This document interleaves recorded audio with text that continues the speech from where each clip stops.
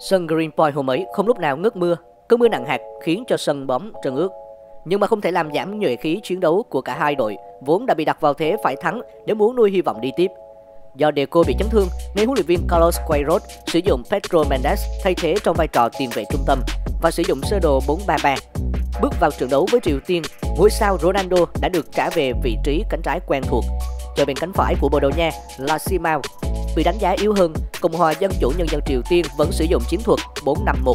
Tiền đạo Jong Tae-se sắm vai mũi nhọn duy nhất ngay sau tiếng còi khai cuộc, Bồ Đào Nha đã tổ chức hàng loạt pha tấn công nhờ sự cơ động của Ronaldo và Simao ở hai cánh.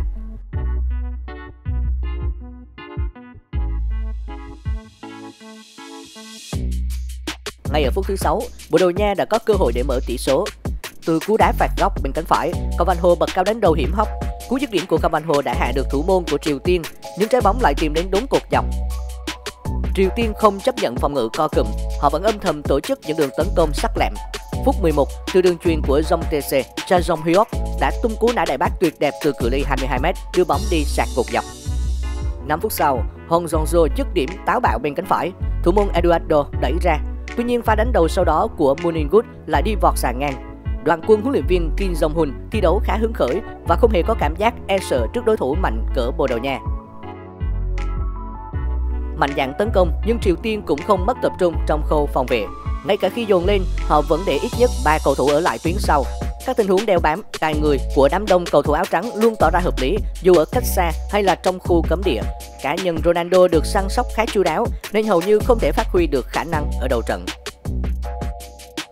Nhưng trong một thế trận giằng co như vậy, chỉ cần một tình huống đột biến cũng đủ tạo nên bước ngoặt và giá trị của đẳng cấp đã phát huy đúng lúc giúp cho Bồ Đào Nha có được điều quan trọng Phút 29, Simao quan sát nhanh trước khi tung ra đường chọc khe cắt đứt phòng tuyến của Triều Tiên, vừa nhịp với những bước xuyên phá của Raul Meireles vào cấm địa. Trong thế đối diện, tiền vệ của Bồ Đào Nha ra chân nhanh đưa bóng qua người thủ thành Myong Gutri mở tỷ số.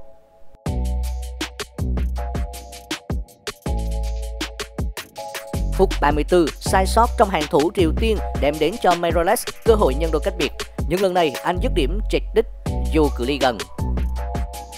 Trong khoảng thời gian còn lại của hiệp 1, Bồ Đào Nha tạo ra khá nhiều cơ hội nhưng mà họ không thể có thêm bàn thắng.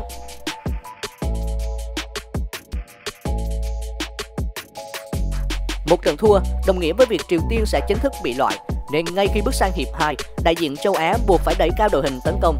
Tuy nhiên chính điều này lại khiến cho hàng phòng ngự của họ xuất hiện nhiều khoảng trống. Bồ Đào Nha sớm có cơ hội tuyệt vời từ cú dứt điểm của Thiago ở khoảng cách chừng 20m, nhưng mà thủ thành Ri Myong Good xuất sắc đẩy qua xà. Đáp lại gần như ngay sau đó, Hong Jong-jo kết thúc pha lên bóng khá bắt mắt của đồng đội bằng cú dứt điểm chìm từ ngoài cấm địa nhưng mà không đủ lực để có thể gây khó cho thủ thành Eduardo. Epson liên tục, bàn thắng đến với người bồ là tất yếu. Phút 53, sau khi nhận đường truyền dài, Miroles và Amanda bật bóng với nhau trước khi đẩy xuống cho Simao vừa băng vào cấm địa dứt điểm qua khe giữa hai chân của thủ thành Remy Good đưa tỷ số lên 2-0 cho Bồ Đào Nha.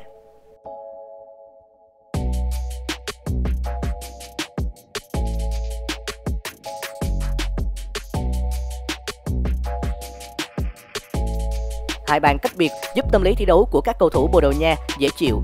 Những mảng miếng tấn công trở nên có hồn hơn hẳn, cơ hội có thể đến từ bất cứ đâu. Trong khi đó, Triều Tiên bắt đầu có dấu hiệu bối rối, hàng thủ liên tục mắc sai lầm thể hiện qua những pha bắt người không chặt hoặc là chặn phá vòng ngoài thiếu hợp lý. Và cũng kể từ đó, khung thành của họ liên tục bị hành hạ. Sau bàn thắng thứ hai 3 phút, những biến đánh biên của Bồ Đào Nha lại phát huy tác dụng từ đường tạt bóng của Fabio Coentrao, Hugo Almeida mang vào đánh đầu dễ dàng hạ gục Rimion Wood, đào sâu cách biệt lên thành 3-0. Triều Tiên đã phải trả giá đắt vì sự mất tập trung ở hàng thủ.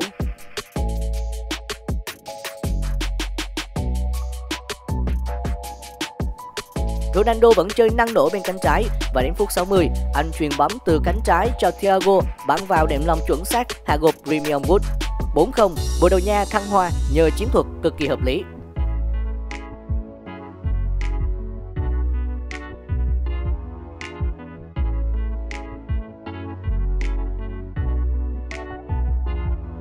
Không còn gì để mất, Triều Tiên dồn lên tấn công, nhưng các miếng phối hợp đơn giản của họ không thể xuyên thủng hàng thủ chặt chẽ của Bồ Đào Nha.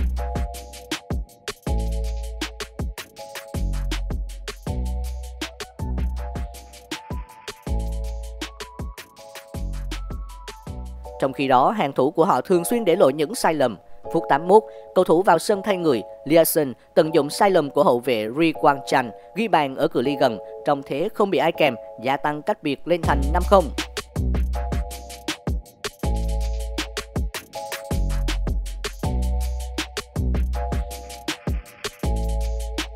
Trước khi bước vào trận đấu này, Ronaldo đã đặt quyết tâm rất lớn vào việc sút tung lưới Triều Tiên để chấm dứt cơn khô hạn bàn thắng.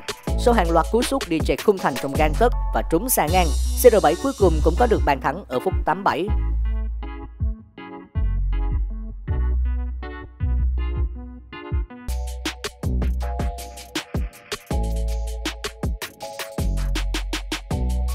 Mãi đến phút 89, cơn mưa bàn thắng mới chịu chấm dứt sau khi Thiago ghi bàn ấn định chiến thắng 7-0 từ một tình huống đánh đầu. Trận đấu kết thúc vỡ trận và thua đậm đến 7 bàn thắng.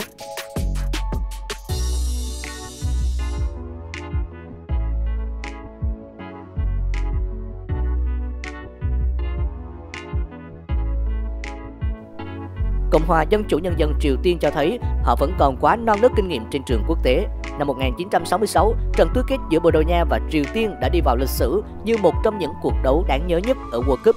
Đội tuyển đến từ châu Á khi đó đã dẫn trước 3 bàn chỉ trong 24 phút nhưng mà để thua ngược 5-3. Và cuộc tái đấu này cũng đã để lại dấu ấn nhất định trong lịch sử giải đấu. Chỉ có điều, nỗi mặn chát một lần nữa vẫn thuộc về Triều Tiên. Bạn nghĩ như thế nào về trận đấu này? Để lại bình luận bên dưới nhé. Xin cảm ơn và hẹn gặp lại ở video tiếp theo.